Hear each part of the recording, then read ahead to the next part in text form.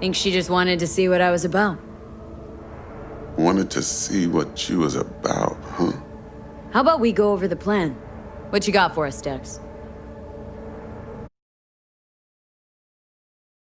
This.